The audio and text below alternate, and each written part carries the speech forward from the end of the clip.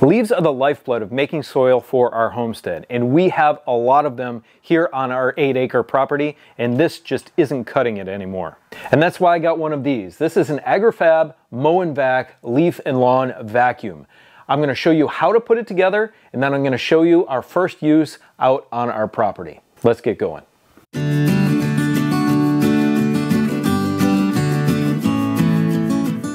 In doing research on this, I saw that a lot of the older models had a bungee that went around the side. There's already an improvement to this one, and that's these little latches that keep this back dump door uh, secured to the body itself. So let's show you everything that we just pulled out of the dump trailer itself. We've got our Briggs & Stratton engine. This is the XR 5 horsepower, and it has the impeller attached along with the hose adapter on it. We've got the front and rear tongue with the latches on it. There's the axle. There is our latch stand bracket. We've got our hose, hanger rod. We've got the wheel support assembly, the wheels. Over here we have the mower deck adapter that it comes with. We have the chute that goes from the impeller up into the actual uh, dump trailer itself. We've got the hose that goes from our adapter to our impeller. We've got our adapter bracket, we've got our attachment bracket, we've got other parts and pieces, everything we need, some giant hose clamps, and some templates for our adapter to attach to our mower deck. First thing you need to do is attach the latch stand bracket to these top four carriage bolts right here. All the carriage bolts needed to attach everything are already set in place. And we need to do this so this little catch here is oriented to the downside and this little depression is oriented toward the top side. And then we have an additional eight carriage bolts that are already in place here for our wheel assembly or wheel support. When you put on this wheel support, these three holes need to go in the upward direction. Now I do need to mention that when you tip this on its side, your chute entry is at the top and your door is at the bottom. You've got nylock nuts and washers for every connection. Now because of the lip in the metal, the two washers actually go underneath the bracket to act as a shim to make it level and flat with that lip. Once you're done with that, you're gonna take your rear tongue and your axle, you're gonna feed the axle through the holes on your wheel support and the rear tongue, and then you're gonna latch this in place on the front support.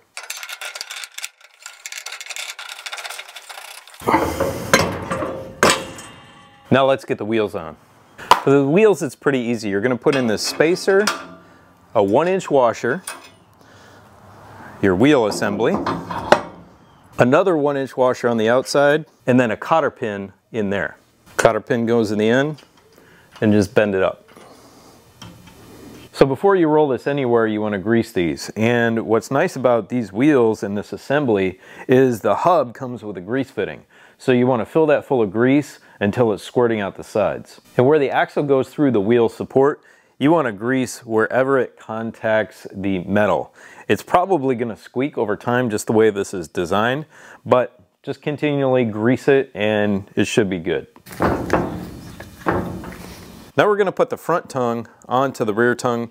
There's two sets of holes on either, so we're just going to line those up. In the back, we're going to use the long bolt the washer on one side through the entire piece. Here on the front, we're going to thread through these bolts and we've got the inconvenience of trying to thread the washer on the inside.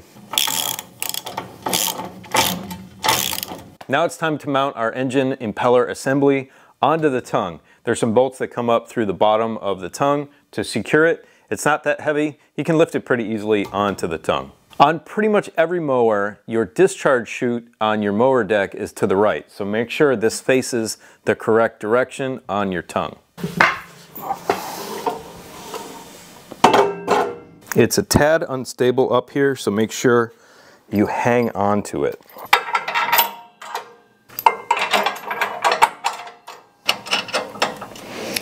Just get one started and that will hold it.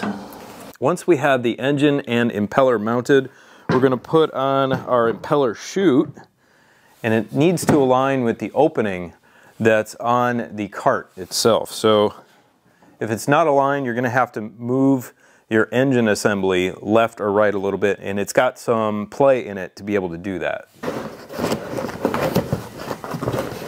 Then attach everything with the self-tapping bolts and nylon washers. These are half inch. The last few things in the main assembly here are to put the hose support in and that just sits down in there like that. We're going to put our hose clamp on our hose and attach our hose to the impeller. Hose adapter here, it looks like it can take the six inch hose that comes with the kit or an eight inch hose. So if you want to upgrade the size of your hose, you can.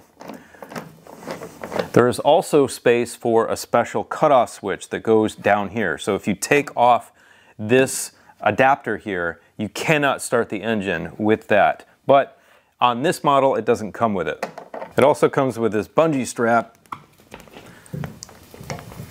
to help secure the hose on the side.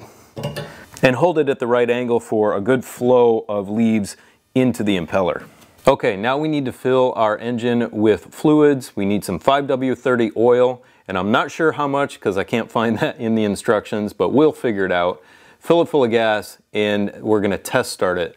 Then we need to cut the adapter and maybe even cut the length of the hose for our mower deck. Now it's really cool in the package that you got all of these templates. There's probably 15 templates here for your adapters for your mower deck. However, none of them fit my mower, so I am going to have to make some modifications and some custom pieces for that to fit on my mower. I have a Toro Titan Max 60 inch.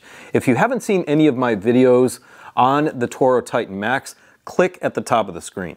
Most of these adapter templates are for John Deere's or Cub Cadets, some Husqvarnas, and oddly, Sears.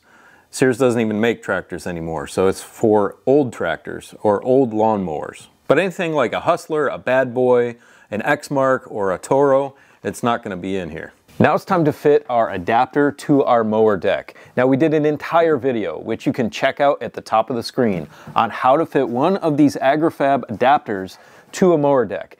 That mower deck was our old Exmark mower. This is our Toro mower, has a completely different deck. The Mow N Vac comes with these five different brackets to help you try to fit the adapter to your deck, but none of them will work with this deck. But on this deck, it's nice. We have holes here and here and here, and I think that's going to be enough for us to actually bolt this just directly to the side.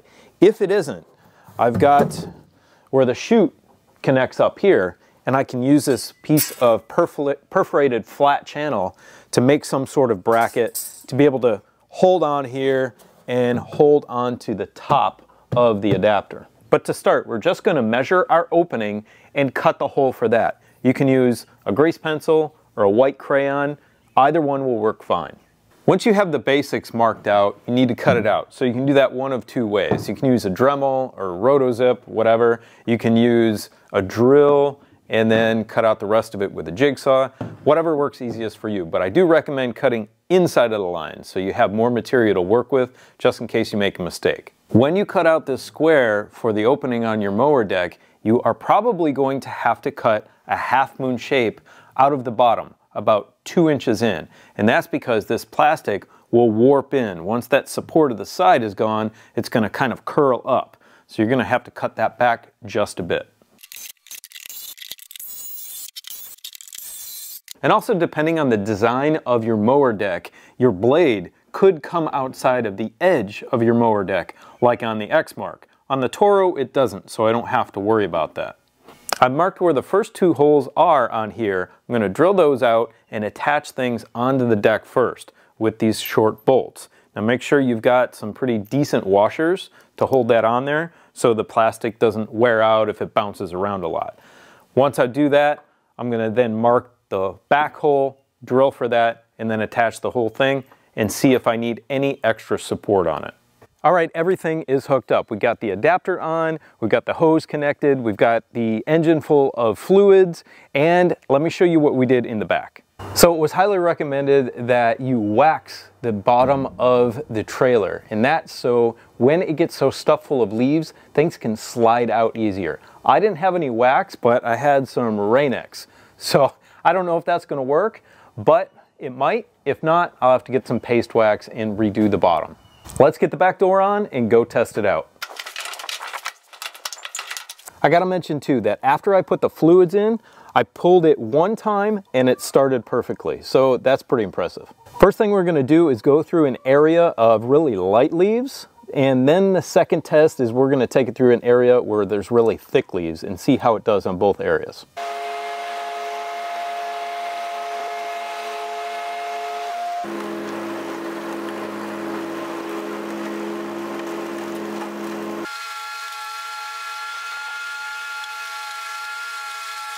So first impression's not bad. It went through this area of thick leaves without any trouble at all, and it picked up a lot. It didn't pick up everything, but we had a rain three days ago, so there are a lot of wet leaves still underneath. I did have the PTO engaged on the mower to help pull things up off the ground. That suction through that small hose in that one spot is not gonna do it, so you need to have the PTO engaged. And it did a pretty good job. Let's see what we collected in the back. Well, it really pulverized it. We just have the regular blades, not the mulching blades on our mower deck. And things are really small, so that impeller took care of the rest of it.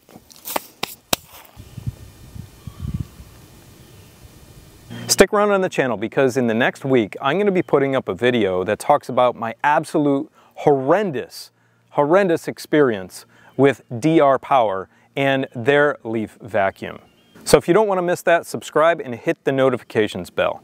From the initial startup and the initial test, this looks like it's going to be a great tool for our homestead. Now go click on this playlist right here, which is our full playlist on how to use leaves and how valuable they are to your homestead. Have a beautiful, blessed day. We'll see you next time. Bye.